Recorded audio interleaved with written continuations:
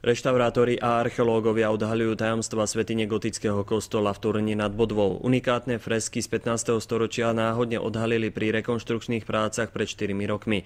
Odborníci predpokladajú, že nálezy patria medzi najvzácnejšie na území bývalého Rakúsko-Uhorska.